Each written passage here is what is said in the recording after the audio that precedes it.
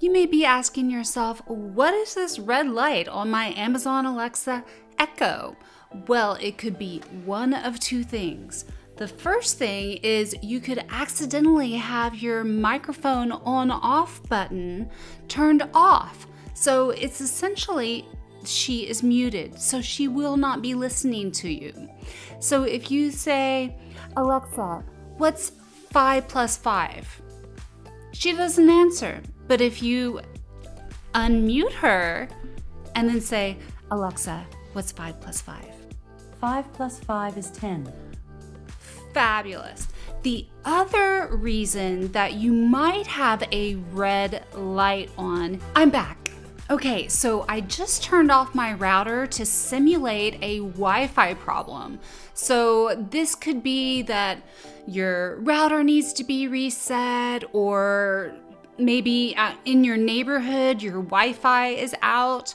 But this is what would happen if you ask her something.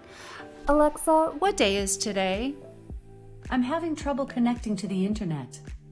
Take a look at the help section in your Alexa app. Okay, great. So that's what that would mean. But notice when it was the microphone on off button, it was a solid red circle. And now this time she will just flash red once when she tells you that your internet connection is lost. What I suggest doing there is just turning off your router, wait a minute, and turn on your router. And then that should reboot your whole Wi Fi system.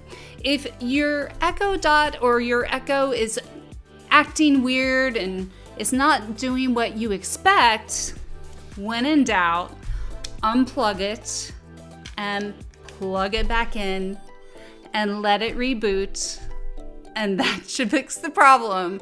If you still have a problem with your red light, please let me know down in the comments and I will definitely research it and try to help you out. Thanks so much for watching and I will see you in the next video.